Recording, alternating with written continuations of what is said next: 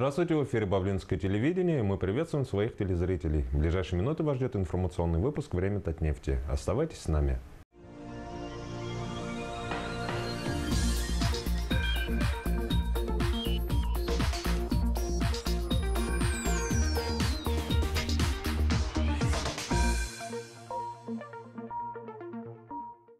Здравствуйте, в эфире «Время Татнефти». В студии Эдуард Прокопьев. В ближайшие полчаса я и мои коллеги расскажем вам о самых значимых событиях минувшей недели. Смотрите сегодня. В гости для обмена опытом делегация узбекских нефтяников посетила нефтяную столицу Татарстана. Звезда мировой оперы вновь на альметьевской сцене. Аида Гарифулина и Государственный симфонический оркестр Республики Татарстан порадовали ценителей музыки. Дорогами странствий или как геолог стал художником. В Альметьевской картинной галерее открылась необычная выставка. Об этом и многом другом чуть позже начнем выпуск традиционно стоп новостей отрасли.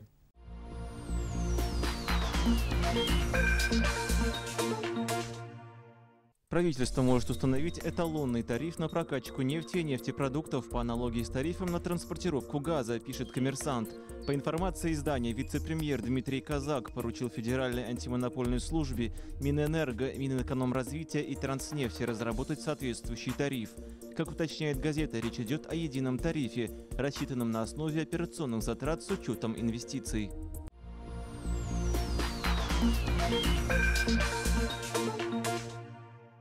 Санкции США против Ирана могут ужесточиться в 2019 году и уронить его нефтяной экспорт втрое, так что иранские поставки могут опуститься с 2,5 миллионов баррелей в сутки в мае этого года до 800 тысяч баррелей в сутки к концу 2019 года. Такой прогноз содержится в исследовании одной из консалтинговых компаний. Напомним, американские санкции в отношении Тегерана вступили в силу 5 ноября. И коротко о ценах на нефть. По состоянию на 7 декабря средняя стоимость марки Brent составила 59 долларов 15 центов за баррель, марки Urals 56 долларов 63 цента. В Татнефти с рабочим визитом побывала представительная делегация акционерного общества «Узбекнефтегаз» во главе с заместителем председателя правления этой компании Кабулом Тухтаевым. О том, чем их сумел удивить нефтяной регион Татарстана в нашем материале. Члены делегации встретились с руководством и ведущими специалистами Татнефти. Гостей приветствовал заместитель генерального директора главной геолог компании Раис Хисамов. Он отметил, что сотрудничество с узбекской нефтяной компанией развивается, ведутся контакты, переговоры, чтобы осуществлять совместные проекты в различных направлениях деятельности. В первую очередь это касается в области нефтегазодобычи, геологоразведки, Второе направление – это шинного бизнеса. Третье направление – группа такая большая, это, наверное, по вопросам переработки нефти и газа и нефтегазохимии. Ну и то, что касается обучения, подготовки кадров, развития науки, изучения э, новых объектов для, для добычи нефти, ну и создания инновационных технологий для трудноизвлекаемых запасов. Для гостей Татнефть подготовила обширную программу с посещением подразделений и производственных объектов.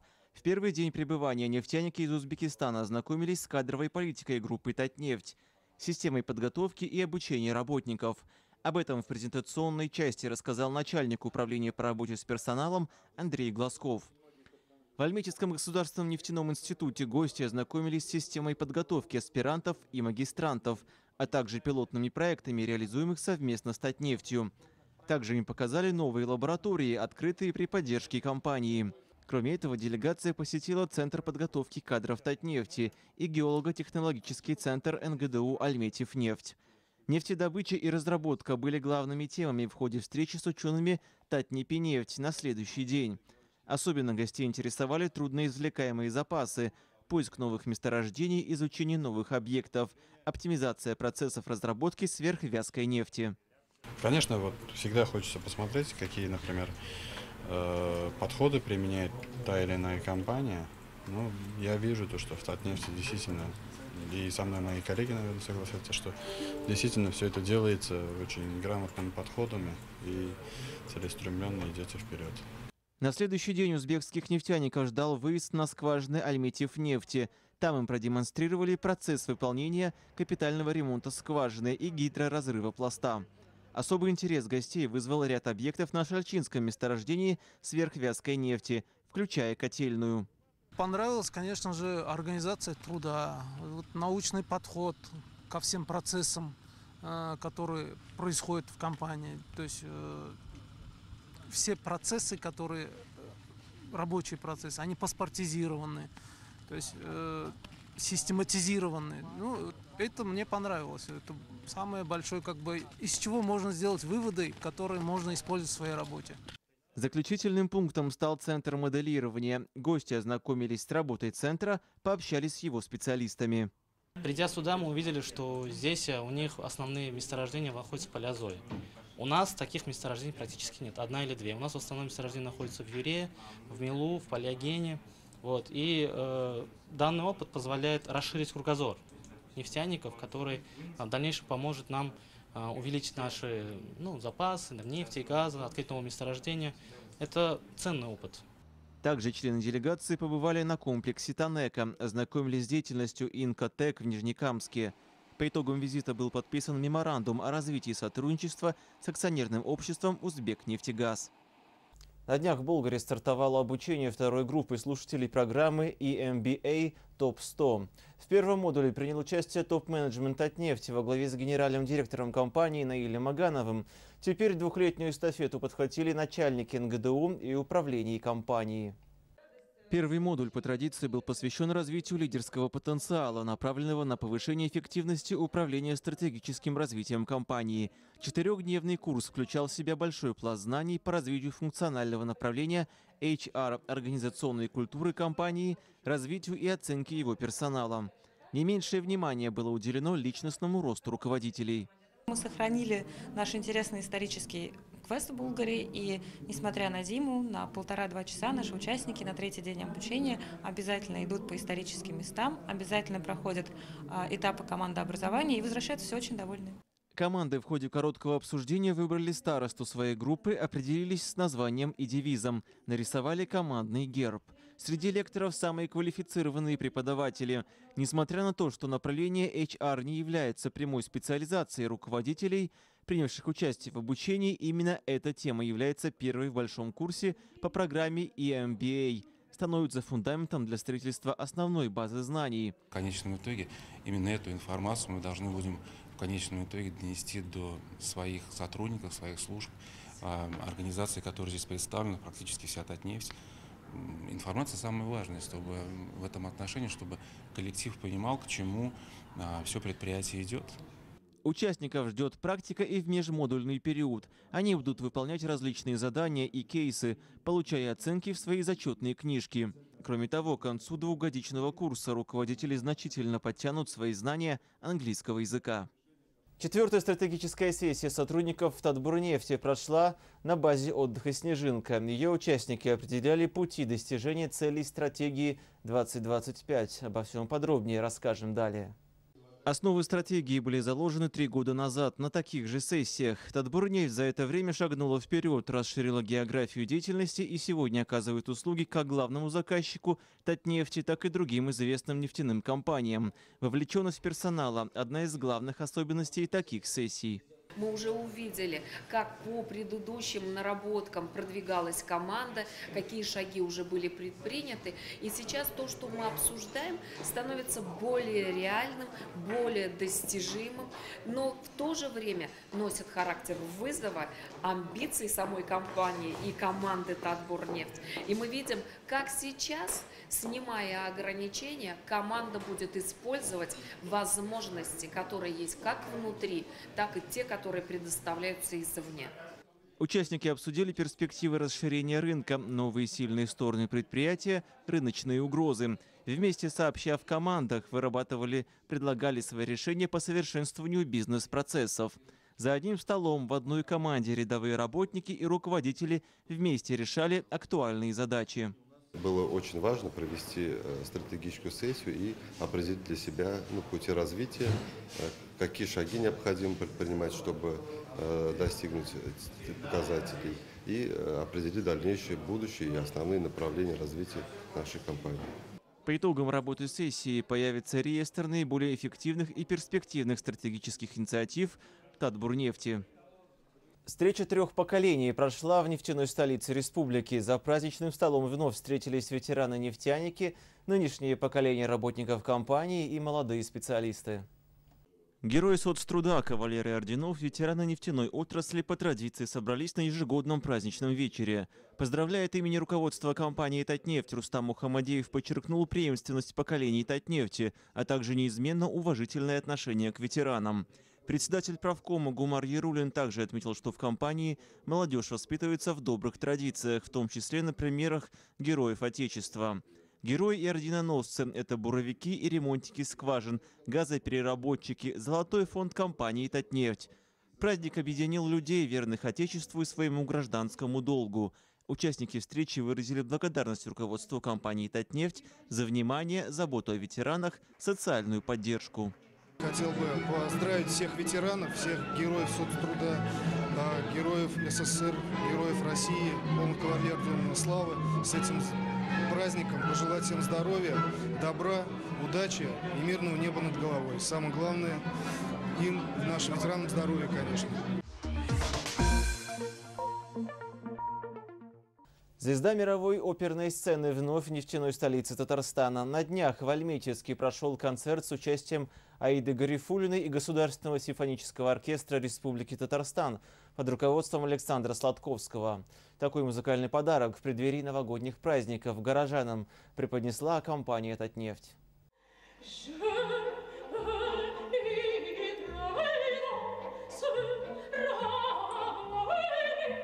Сцена Дворца культуры Невче теперь для оперной дивы стала роднее, а местная публика ближе.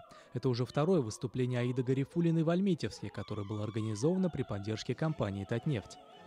Публика точно стала ближе и теплее, вы сами слышали это по аплодисментам. Жители Альметьевска действительно очень радужные люди, очень теплые и очень душевные. Спасибо огромное за такой прием. Всегда приятно приезжать в города, где тебя ждут и любят. Вместе с ярким талантом Аиды альметьевцы смогли поближе познакомиться с мастерством Государственного симфонического оркестра Республики Татарстан под руководством дирижера Александра Сладковского.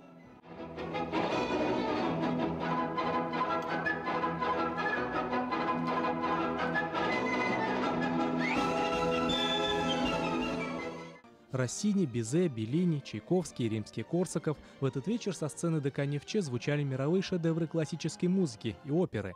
Причем свои арии Аида исполняла на разных языках – итальянском, французском, русском и, конечно же, на своем родном – татарском.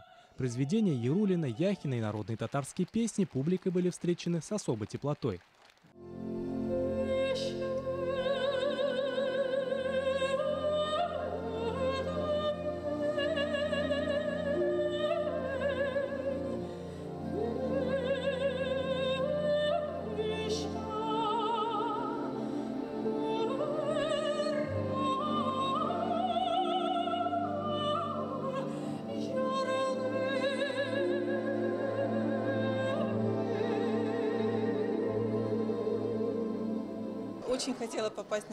На этот концерт, и очень все замечательно.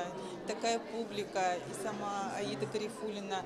Ну, просто прекрасно, впечатление отличное. Спасибо большое Татнефти за такой прекрасный концерт. Понравился голос Аиды Гарифулиной. Не, невероятно, просто необычный голос. Э, таких голосов я еще, правда, не слышал. Вот, э, до такого уровня нам еще расти-расти, так как я сам учусь на академическом вокале, и мне кажется, дойти до такого уровня очень сложно. Благодаря инициативе генерального директора компании «Татнефть» Наиля Маганова высокое искусство для жителей города становится ближе и доступней. Концерт Аида Гарифулиной продолжил череду выступлений на альметьевской сцене мастеров с мировым именем – Спиваков, Мацуев, Башмет, Гергиев. В их плотном гастрольном графике, наряду с большими мегаполисами и лучшими сценами по обе стороны океана, теперь все чаще появляется Альметьевск. Я безумно благодарна Татнефти и Наилю Ильфатовичу за такую возможность, за то, что он э, дарит такие концерты городу и тем самым повышает культуру, вообще поддерживает культуру.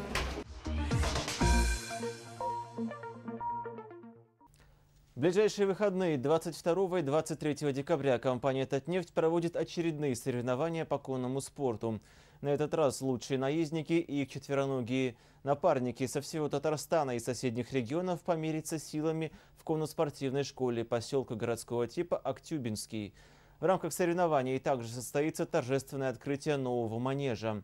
Начало в 10 часов. Гостей спортивного праздника ждут увлекательные состязания по конкуру и выездке, а также развлекательная программа и розыгрыш ценных призов. «Дорогами странствий» – так называется выставка, открывшаяся на днях в Альмической картинной галерее.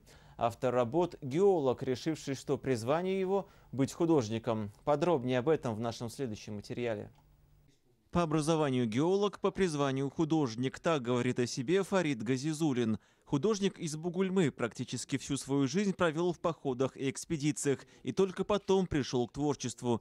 Мотивы объясняет просто. Хотел показать красоту мира за горизонтом столько видел красоты, столько видел того, что люди не видят никогда. Я вот когда поднимался на какую-то высокую гору и видел потрясающую панораму, мне было до слез обидно, что никто этого не видит. И я тогда дал себе слово, что когда мне ноги устанут носить по земле, я сяду за мольберт и буду создавать эту красоту, чтобы донести ее до людей. Вот чем и занимаюсь. Любитель путешествий более 10 лет проработал в системе Татнефти, занимался интерпретацией сейсморазведочного материала. Это уже 48-я персональная выставка Фарида Газизулина. В Альметьевской картинной галерее на двух этажах выставлены более 70 его работ. Всего же художником написано более 400 картин. На них величественные пейзажи, горные вершины, затерянные уголки от Дальнего Востока до Северного Кавказа. На полотнах буквально оживают истории, о которых художник с удовольствием рассказывает, возвращаясь из очередного путешествия. Почти каждая картина имеет в основе тот или иной сюжет, нередко очень драматичный. А медведица, не зная, не видя нас, поднялась вот с той стороны, она бы нас просто порвала. Работы художника будут выставлены в галерее до 14 января. А теперь мы приглашаем к экрану наших юных телезрителей. На очереди приключения нефтяши и ее друзей.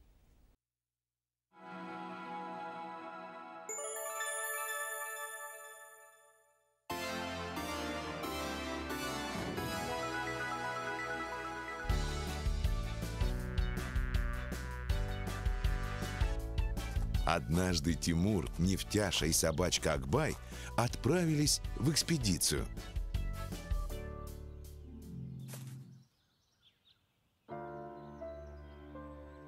Ой, вода закончилась. Надо было больше воды брать. Вон жара какая.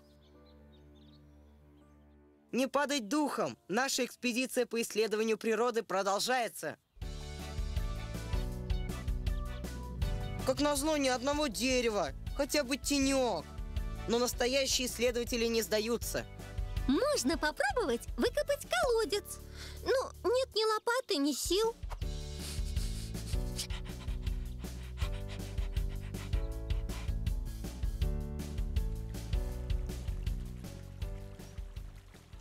Стойте, друзья, не пейте. Вы разве не видите? Что мы должны увидеть? Козленка! Вы что, сказку не помните?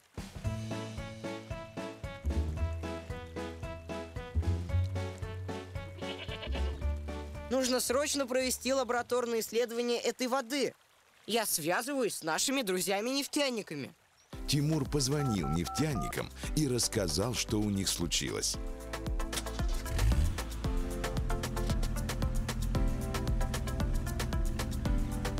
Привет исследовательской экспедиции. Что тут у вас? Докладываю. Нами обнаружен природный родник, но есть некоторые сомнения в составе воды. Ну, это мы сейчас легко проверим.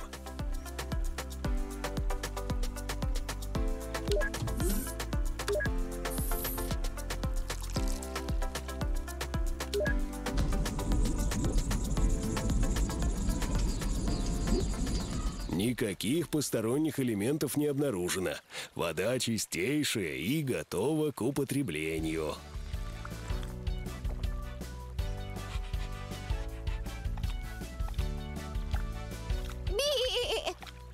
Тьфу, тьфу. Я шучу. Очень хорошая водичка.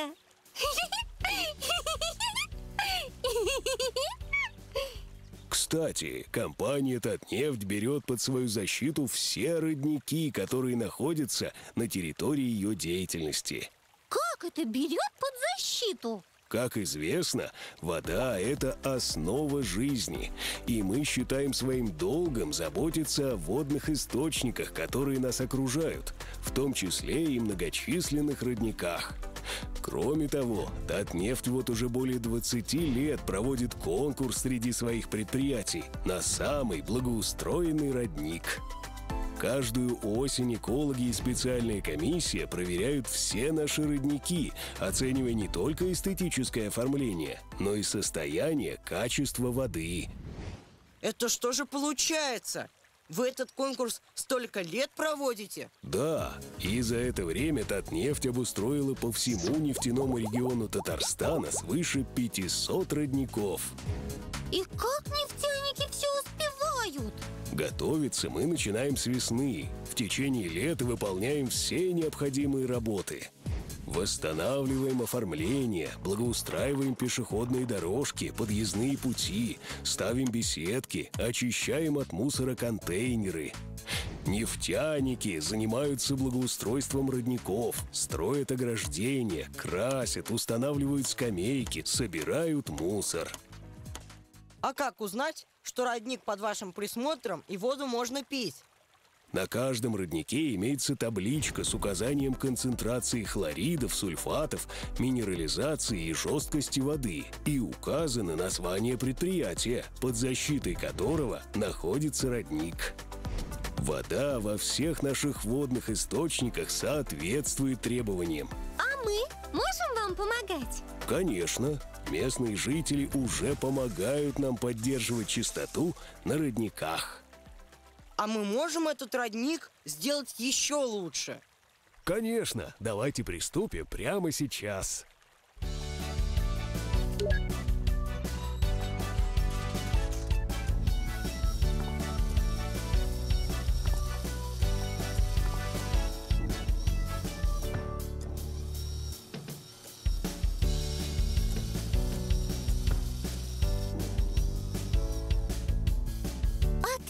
Отличная идея! Экспедиция удалась! Песню нам поет родник, в чистоте он жить привык. Стоит свежая вода и усилий и труда. Быть добрее к роднику можешь ты и я могу. И тогда родник чудесный споет нам песню. На этом наш выпуск подошел к концу. Я с вами прощаюсь и желаю вам всего самого доброго. В 10.00 торжественное открытие конно-спортивного манежа в поселке Актюбинский. Вас ждут соревнования по конному спорту и розыгрыш призов от компании «Татнефть».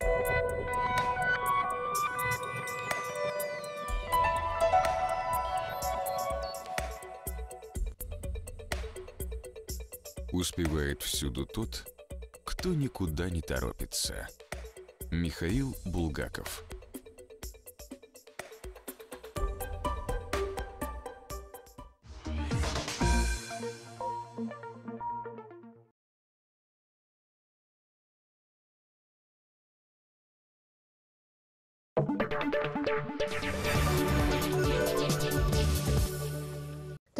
компании требуется тракторист категории, разрешающий работать на экскаваторе, машинист по ПДУ пятого разряда, слесарь по ремонту автомобилей пятого разряда. Обращаться по телефону 8 932 850 47 44 8 35 32 453 653.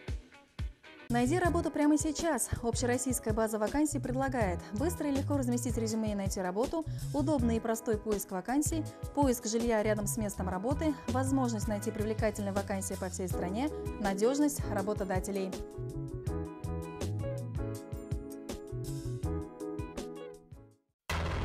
За прошлый год в России произошло 11 взрывов бытового газа. Погибли 33 человека. Одна из причин взрывов – износ газового оборудования и нарушение в его установке. Трагедии можно избежать, если пройти ежегодное техническое обслуживание.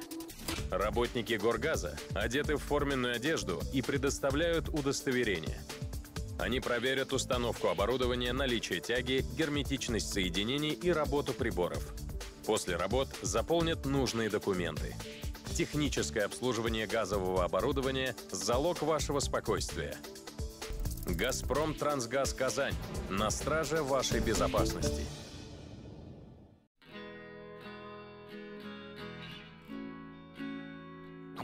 Ходить устал? Иди на портал. Экономьте свое время. Пользуйтесь порталом госуслуг Татарстана. На сайте работает 240 быстрых и удобных сервисов. Вводите показания счетчиков и оплачивайте услуги ЖКХ. Подавайте заявление на постановку ребенка в детский сад и отслеживайте статус заявки. Оплачивайте услуги детского сада. Проверяйте оценки ребенка в электронном дневнике и пополняйте карту школьного питания. Записывайтесь на прием к врачу, оплачивайте налоги и штрафы за нарушение правил дорожного движения. Сотни тысяч людей ежемесячно получают электронные услуги и экономят время с порталом госуслуг Татарстана. Присоединяйтесь к нам также с помощью мобильного приложения. Получить новый паспорт и зарегистрировать автомобиль со скидкой, оформить материнский капитал, встать в очередь в детский сад, создайте единый личный кабинет ЕСИА для доступа к электронным услугам на разных ресурсах. Для регистрации запишитесь на прием в многофункциональный центр через сайт госуслуг Татарстана, посетите ближайший МФЦ с паспортом и получите пароль. Экономьте время с госуслугами Татарстана.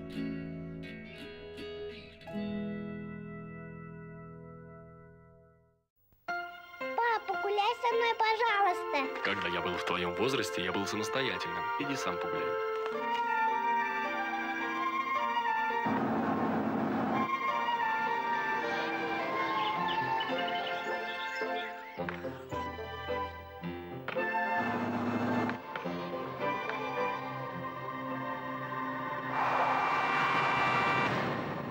Любовь и внимание не должны ослабевать ни на минуту. Транспортной компании требуется тракторист категории, разрешающий работать на экскаваторе, машинист по ПДУ пятого разряда, слесарь по ремонту автомобилей пятого разряда. Обращаться по телефону 8 932 850 47 44 8 35 32 453 653. Найди работу прямо сейчас. Общероссийская база вакансий предлагает быстро и легко разместить резюме и найти работу, удобный и простой поиск вакансий, поиск жилья рядом с местом работы, возможность найти привлекательные вакансии по всей стране, надежность работодателей.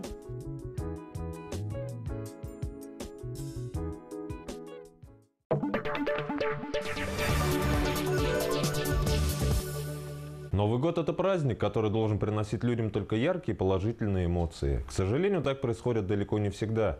Случается в Новый год и пожары, и другие крупные неприятности. Причины пожара в Новый год могут быть самыми разными. Опасность представляют как салюты, так и многочисленные гирлянды, развешенные на елках и являющиеся потенциальными источниками возгорания.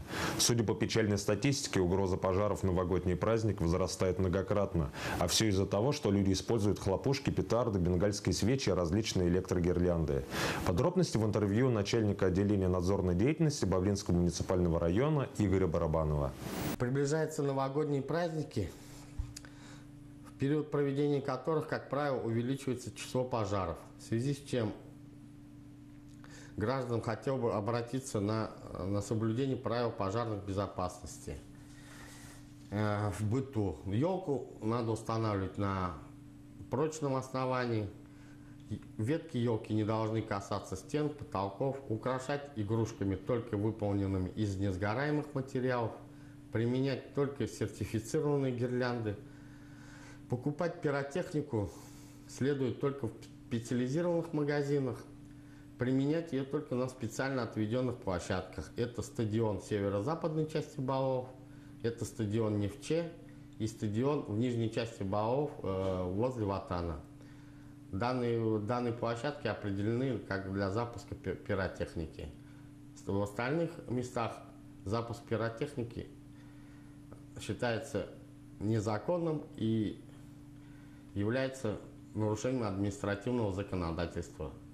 Штраф на граждан от 2 до 4 тысяч рублей. Уважаемые телезрители, на сегодня мы завершаем свою работу. Сюжеты передачи Бавлинского телевидения вы можете посмотреть на нашем сайте bavletat.ru. До новых встреч, будьте здоровы!